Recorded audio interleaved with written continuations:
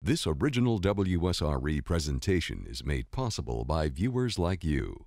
Thank you. Motorsports journalist, television personality, and founder of Speed51.com, Bob Dillner, on this edition of Conversations.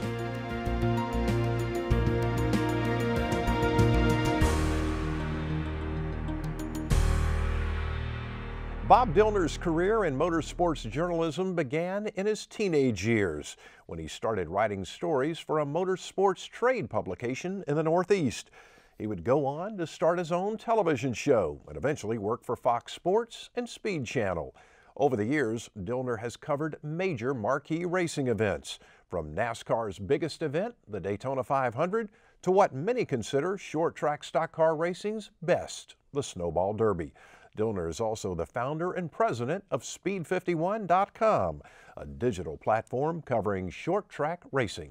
We welcome Bob Dillner to Conversations. Thanks for being here. Hey, nice to be here. Always love coming to Pensacola, Florida. It's a great place to hang your hat. It is indeed. Plenty to do. it is indeed. What first got you interested in uh, motorsports? You know, my, my dad was involved in motorsports, and that's what you see a lot of uh, things happen. So he was a crazy figure eight race car driver, you Okay. know, uh, where you hitting the X, and um, he didn't have a lot of money. Uh, so he, he basically hung up the helmet uh, early on, and, and he would give me his steering wheel. Uh, we'd go up into the grandstands and he'd take his belt off and put me into one of those seat backs in, in the grandstands, buckle me in with his belt, give me a steering wheel, and I'd pretend I was my favorite race car driver going down the racetrack. So we spent you know time as family, um, you know, at different racetracks in the Northeast, uh, specifically on Long Island where I grew up. And uh, we just went to the racetrack every single weekend. Most people do stick and ball things Right, right, on the right. weekends, and I, I love all sports, but we did racing, and, and I was kind of an oddball in that New York, Long Island scene because my my friends would say, "What are you doing? Going to the races? What the heck is that about?" Right. Uh, but uh, the passion was born from my dad, uh, who taught me the love of racing. You know, it- it's often thought of as you know stock car racing being kind of a southern thing, but there's some there's some great uh, legacy, particular journalists and sports announcers that came out of the Northeast, right, f- covering stock car racing. Oh yeah, I mean big time. Dick Berggren is one of them, Yeah. and Ken Squier. Yeah. Um, he's my idol. Yeah. Uh, the dean of motorsports broadcasting, and, Yeah. and he's taught me so many things throughout the years. Uh, I remember honestly, you know, my first live race, Charlotte Motor Speedway, big stage, and I'm the pit reporter, and I had talked to Ken. He was the play-by-play guy, and and I see Shawna Robinson, you know, just up in smoke and coming down pit road, and you know, I was at one end and I had to go to the other end, and, and I'm in mid stride, just running down pit road. It's a long pit road at Charlotte Motor Speedway. Yeah, yeah. And uh, all of a sudden, Ken Squier says, Let's go down to Bob Dillner and find out what's going on with Shawna Robinson. I'm in mid stride. And, and I know I just, I got to talk. So out of breath and, and trying to keep on running to get down there, you know, I, I, you know, hit the report pretty decent. And he said, Good job, kid. and, and that to me was something special because, you know, Ken Squier, who had called that 1979 Daytona 500, just told me I did a good job as a kid. He's one of those voices you identify immediately with the sport, almost like Keith Jackson in college football. It, it is, uh, you know, uh, you know, Whoa Nellie from Keith Jackson, Yep, you know, uh, to Ken Squier, the kid from Michigan. Yeah. You know, he would always have a way, um, you know, a dialect Yep. that would really resonate with who was listening. And, and I was one of those kids that would listen to Ken Squier. And I never thought I was going to go into TV broadcasting or anything of the such. So I didn't study him. Uh, but now you go back and I'll even look at some of the things right now and I'll say, man, that, that's a unique way that he delivered that in an impactful way to allow people to understand, you know, what he was trying to get across and what was special. And, and I think he always said, you know, uh, with, with race car drivers, these are common men doing extraordinary things. And I think we've lost a little bit of that, you know, Yeah. in some of the way we deliver the broadcasting of motorsports around the globe. Yeah.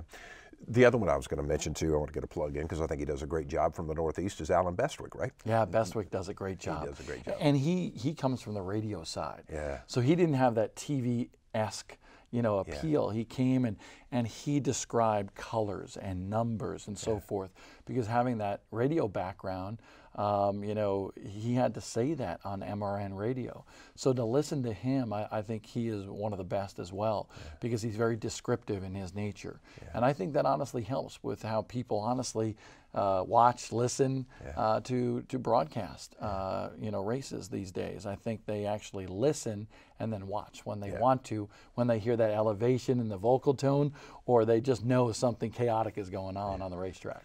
What's the most difficult part of your job covering motorsports? You know, the funny thing is, it's it's not a difficult job.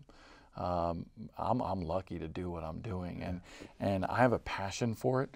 So I think you just need to learn what to say when.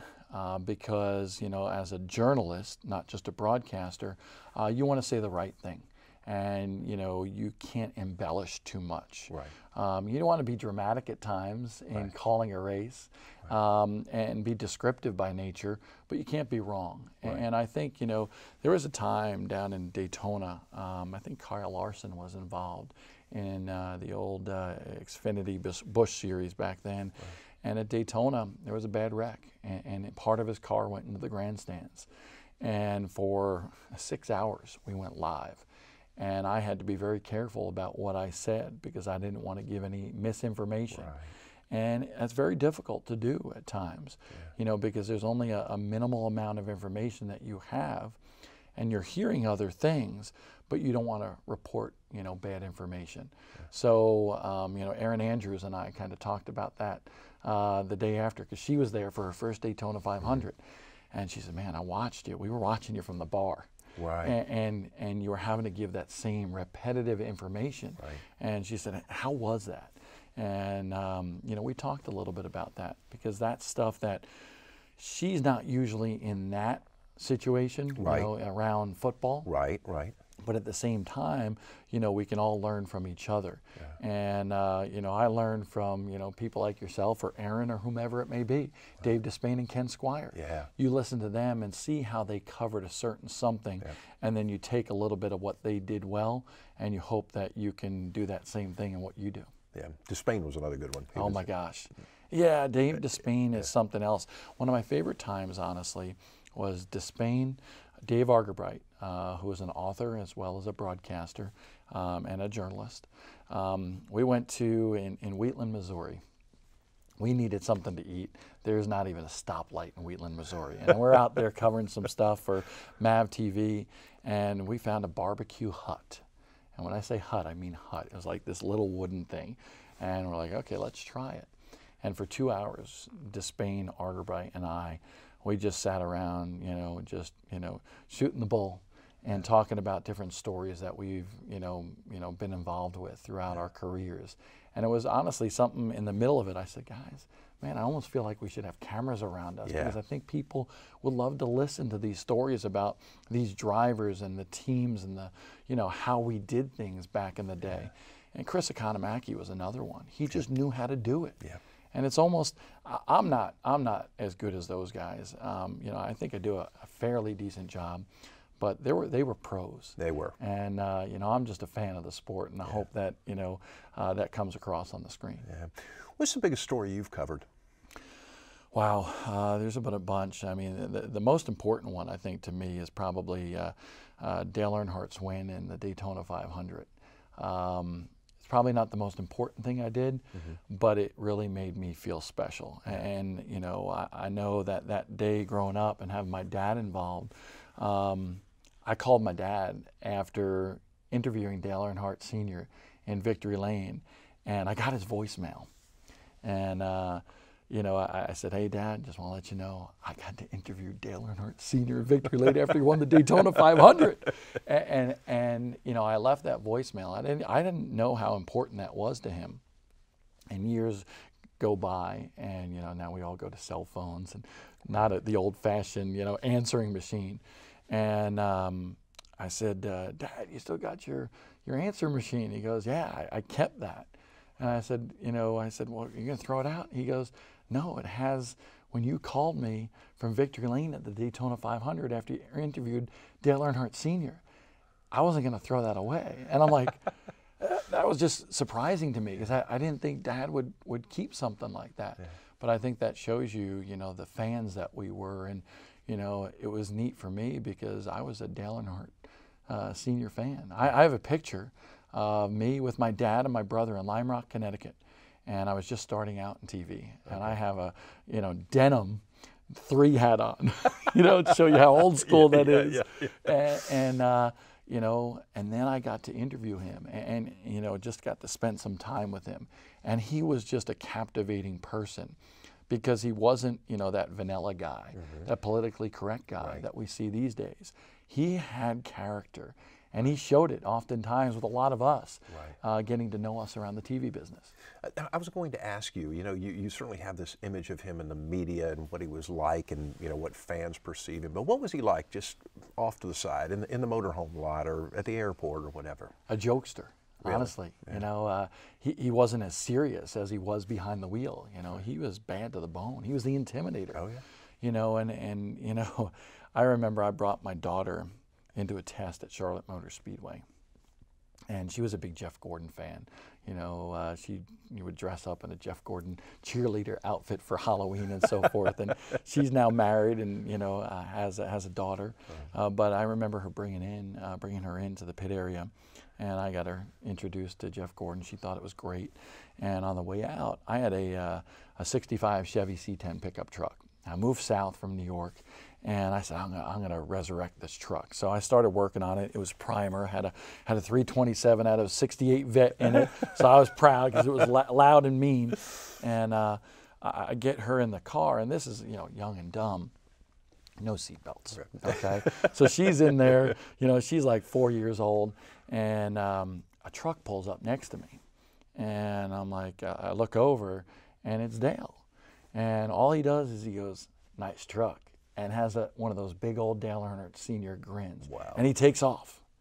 So we get out in front of the speedway, and, and there was a little bit of traffic there, and and I'm not watching really, but I, I see somebody tailgating me, and I'm like, what the heck? You know, so I give a little brake check, right? You know, pretty stupid thing to do, but I give a little brake check, and this truck pulls up next to me again, and, and it's Dale, and, and he just smiles and takes off.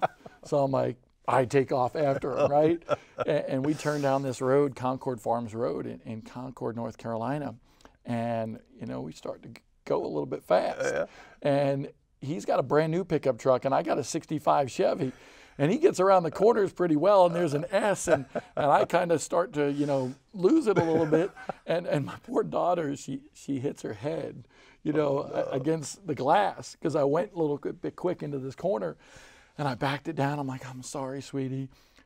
But at the same time, I was racing down country roads in North Carolina with Dale Earnhardt Sr. That's so funny. That's funny. You talk about Jeff Gordon. I mean, he and Gordon had a unique uh, relationship, or certainly it appears that way. And wow, did they elevate the sport? Yeah, they did. I, and I think it was perfect because just when NASCAR was really rising was when Jeff Gordon came to prominence. Mm-hmm. And uh, I got there about five years after he got to Cup. Um, but I got there right in the thick of things, you know, when still Dale Earnhardt Sr. was there, Dale Jarrett, Mark Martin, uh, all those guys really made it. And it was when, you know, we had to get up at like four o'clock in the morning to get to the racetrack by five because by golly, if you didn't get to the racetrack by 5.30, there was going to be a line several miles long at 6 a.m. getting into New Hampshire Motor Speedway and Daytona and Talladega and all over the place. So, you know, Jeff Gordon was really important because I think he completed the entire swing. You know, you had here's this good old boy from Kannapolis, North Carolina, that was tough as nails, right. Dale Earnhardt, and then you get this guy from from Indiana, you know, and, uh, originally from California, but you know, you get Jeff Gordon in there, and he he looks like you know a model, and you get that charisma going between the two, that love hate relationship, and I think it really worked to bring NASCAR to the level that it achieved. Yeah. Because you had the Jeff Gordon, I like the young kid, the good looking, clean, and well spoken guy. Right. But then you got, you know, no offense, you got you know farmers and you got you know blue collar people Mm-hmm. that just love Dale Earnhardt Sr. and hate Jeff Gordon because he's he's the rich kid, right? Right. Which he really wasn't. Right, right. Um, but it was portrayed that way, and and I think NASCAR took full advantage of it, Yep. and it brought NASCAR to that level uh, of NFL and MLB and so forth for a while there, uh, before they started to lose touch a little bit. Want to talk about that in just a second, but also I think about some of those guys kind of on the on the perimeter, on the periphery of that. I mean, you had the Rusty Wallaces of the world, the Mark Martins and the Sterling Marlins, some of those guys, and they were characters within themselves, you know, and, and it kind of added to that that flavor with Earnhardt and Gordon. I- don't see that as much anymore, do you? No, I, I don't. And I think NASCAR wants to rebuild that. But that was, you know, that wasn't those guys making that. That was NASCAR making characters out of those guys. You know, I mean, listen, you know, Mark Martin, five times a runner up in the, the Cup Series, you know, the, the lovable loser, so to speak. right. You know, but I look at all the races that he won and he finished second in points. And, you know, if you think about that, that was better than the guy that finished third and fourth and fifth and 20th. Right. So, um, he, you know, he's deserving to be in the NASCAR Hall of Fame. Absolutely. And and those guys, you know, Sterling Marlin, Mm-hmm. you know, and, and Rick Wilson, and all those guys, you know, I, listen, I, I remember back in the day because times are different. You know, Sterling Marlin, you know, he'd be, you know, in the tunnel at Martinsville Speedway, uh, bumping into a girl, and next thing you know, this girl's writing a name and, and a number, you know, on a piece of paper and handing it to Sterling. I don't know what happened after that, but, but by golly, he got her number. So you know, you don't see that anymore, and, and you don't see um, the camaraderie. Honestly, uh, things are different, but we have to evolve with that. I think, and, and NASCAR's got a unique opportunity um, to re-engage the people that I think they forgot about, and they know that they forgot about some of those people. You don't have the characters anymore, Tim Richmond and so forth. Yeah. They were wild, but I think you're going to start to see some of those characters. Chase Elliott, Ryan Blaney, they're starting to become themselves after having to learn who to become to make a name for themselves. And we were talking about NASCAR. I mean, a huge rise, and then kind of the financial crisis hit, and that seemed to be sort of the triggering point for, for it, to, it to start falling off. Why do you think they have not been able to reaccelerate at this point? Well, I think you know from from a Fox standpoint, uh, we were drilled that you know, hey, we need to focus on the 18 to 25 demographic, you know. And I would always say, well, wh- what about that 30, 40 plus, the people that really are passionate about? They'll always be there, and you know, I think we lost them, uh, or a good portion of them and we didn't gain the 18 to 25 demographic like they thought we would. And we would purposely do things, honestly, in how we delivered our messages for that. And, you know, those people went elsewhere. And, you know, then, you know, things started to change in the Sterling Marlins of the world and, and other people. And unfortunately, Dale Earnhardt Sr. passed away. Things started to change a little bit. And um, people went away. And, and uh, kind of a unique story. I'm down at East Bay Raceway Park a couple of years ago, and it was like uh, like two or three years uh, from removed from doing a full-time NASCAR broadcast. Spent 17 years there, and now I'm doing a lot of grassroots stuff and dabbling around when they bring me back for certain things. But I'm enjoying the heck out of it. And I get out of my rental car at East Bay Raceway Park where I'm going to do a live show for MAV TV that night. And, and that's just across the coast in Florida, you know, from East Coast to West Coast, Daytona, the big track, big lights. And I'm over at East Bay. And I get out of my car and I start to walk away. And somebody says, Bob Dillner. So I look around as a TV guy. You know how it is. You, know, you don't know who these people are. Right, right. But you're like, hey, how you doing? Yeah, you know, and you're polite and see what they want to engage in conversation with you about. And he goes, I'll be damned. You used to be famous. and that that to me shows you and we got to talking about it. He goes, I used to be a big NASCAR fan. He goes, I used to watch you all the time. Where you been? And I said, actually, I'm over on the short track side now. And he said, Me too. He says, I go all over the South and I go on all these little short tracks. He says, You know why? That's where real racing is now. He says, honestly, you know, once Dale Earnhardt Sr. passed, and these young kids, I didn't know anything about them. Right. So I think it's as broadcasters, we didn't do a good enough job at, at telling people who these new people were when the when the you know the old guard, you know, you know was replaced by the new guard, and that's our fault to some degree.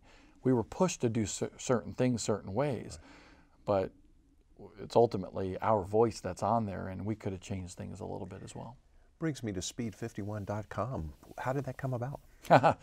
it, came about because uh, originally I, I, was working, you know, when I came down in 1997 to Charlotte, I, I literally, I got a call and uh, they said, hey, you need to come down tomorrow. Uh, we want to talk to you about a job. What? Uh, my wife's six months pregnant. And I went down there, flew down, called in sick to the news station in New York. Sorry yeah. But uh, you know, and went down there. They they hired me, and I moved down. You know, literally uh, three weeks later, and um, you know, I worked for TNN for a couple of years, mm-hmm. and then TNN decided they're getting out of motorsports, right. and I got laid off. Okay, I moved down with my family. I got two daughters. What am I going to do? Um, so I had some time on my hands. And before Speed Channel came along and hired me, I actually wound up starting Speed 51. And I was passionate about short track racing. And I remember sitting down with my brother, who's now part of the Dale Earnhardt Jr. Uh, download, and a buddy of mine, Jeremy. And I said, Hey, I'm going to start this thing. Will you help me out a little bit? Yeah. And uh, they said, Sure. Jeremy said, I'll write for you a little bit. And my brother was good with graphic design, so he kind of des- designed the site for me. And that's how Speed 51 was born. And, and we would put up like, you know, maybe one story every two days. Uh, and to see where it's grown now is just unbelievable with the, the volume of information and stories and content that we're putting on there. But that's really how it began. It was it was three people at a restaurant, and um, you know we talked, and I said, "Hey, I'm going to do this thing. I'm going to create a site. Why are you going to do that?" Well, this internet thing seems to be building, right? so it might take off. yeah, who knows? But let's get ahead, ahead of the curve and let's put something on there, and, and that's what we did. Wow. Yeah. Yeah, and well, you just really leaned into the whole thing. I mean, you it was almost like you're on a wave, right? I yeah. because technology just. A little bit was luck. I mean, we started at the right time. Right. You know, I'm not that smart. You know, we, we just got lucky that we started back in 2001 when the internet, the only th- other thing out there was And Jayski really covered NASCAR. And nobody was covering short track racing. So we got in at the right time and started out as a hobby. And, you know, a few years later, we're like, okay, let, us keep on going with this. And it wasn't until, you know, my wife in, in uh, 2009, she said, do you realize how much money we're spending out of our personal money for this? You know, and, and we were not, you know, Speed 51 was not profitable at all. And uh, she said, we need to turn this around a little bit to yeah. stop costing us our money. At least if we can break even, we can say, hey, we're building on something. Right. And that's what we did, honestly. Uh, we started to talk to people about advertising. We started to, you know, manipulate things in terms of uh, learning how to be marketable. Mm-hmm and we turned it into a business and the readership went up and then we went to the video and the broadcasting and the on-demand video and created a network and um, you know now it's the leading short track racing website in the country, and we have conversations with NASCAR all the time, and and um, you know different uh, series and, and racetracks and events across America. And you just recently have a new ownership structure, as I understand it, correct? Yeah. So uh, you know the uh, major owners of the NASCAR Cup Series teams. Uh, they wanted to invest in short track racing. They realized the disconnect, honestly, mm-hmm. between the grassroots fan mm-hmm. and where NASCAR is right now, and they wanted to do their part. Uh, so the, the, big dogs, uh, you know, Mr. Hendrick and Roush and Ganassi and Penske and Gibbs and uh, to some of the smaller teams as well, like LFR and Go Fast Racing. Uh, they're part of Speed 51 right now. We have meetings with them every month. Uh, they're energetic. Joe Gibbs is, is, is like a little kid in the candy store. What are we going to do next? You know, and so, you know, we're coming to events and we're trying to make events bigger like the Snowball Derby and uh, many other events. We're, we're bringing the track back to life next year that's been dormant for seven years. Gresham Motorsports Park in Georgia, oh, wow. north of Atlanta. And, you know, we're doing it because we want to show people that we care. These people are not just about business mm-hmm. and making money. They know the health of the sport is derivative upon the health of short track racing, right. where it all begins, where the stars are born. That's right. And uh, that's what we're here to do. Talk a little bit about the Snowball Derby. Snowball Derby is awesome. Gary St. Amant, um, who has won the Derby a couple of times, it was 2001. He said, Bob, you got to come to the Derby with me. And I was covering ASA as well as NASCAR that year for, for TNN. Okay. And he said, uh, hey, you got to come down to the Derby. So my brother and I, literally on a Wednesday, said, let's go. We drive down to, to, the Derby, down to Pensacola. Don't know what we're in store for. And we had started Speed 51 and literally um, get there for qualifying. I was like, whoa, look at these people. Yeah. And I went through the weekend and we're on the tower the tower that you still see now at Five Flag Speedway. And in the middle of the race, um, I said to my brother, I said, we should probably cover this. We do have Speed 51. Let's let's do something, yeah. and, and, we did. And and that's where you know, um, you know, Speed 51 began with the Snowball Derby, and now we're the official media partner, and we do the live broadcast. And uh, 2001, just two dudes up on top of the roof at Five Flag Speedway, freezing our butts off and uh, that's where it was all born for us. Well, you know, it's amazing the history of that race uh, over 50 some odd years and some of the stars that have come through there. I mean, the Waltrips and the Wallace. yeah, it's incredible. I mean, listen, the, the list of stories from there is incredible. Sockets in the pockets. Yeah. You know, when Stephen Wallace knew he wasn't going to make weight, uh, son of Rusty Wallace, yep. and he, he put sockets in his pockets to weigh himself down and, and get the weight of the car or the way the way he needed it to pass tech, and they caught him with the sockets in the pockets and. And uh, you know, just different stories that come out of there. Dickie but, Davis from the, the, you hear the story about him freezing the fuel. Yes, I mean, yes. It, I mean it, it's incredible what people would do. Yeah. Um, but I think what's more impressive is not just the, the winners, but the people that didn't win. Yeah. You know, Rusty Wallace, it bothers him. I was doing a banquet where I was doing some guest speaking, and he was going to be up after me. And I just came off the Snowball Derby, and they introduced me that way. And I'm, I'm in, you know, some city around America. And so I get up there and I say, oh, yep, Rusty Wallace. I was just down at that Snowball Derby. And by the way, your son won that race and you didn't. And you could see the steam coming out of his ears. I bet, I bet. Bob, what a real pleasure. It was awesome. Great talking to you. Yeah. People can find you, speed51.com, and where else? Yeah, and Twitter. I'm very active on Twitter. Okay. So at Bob Dillner with two L's.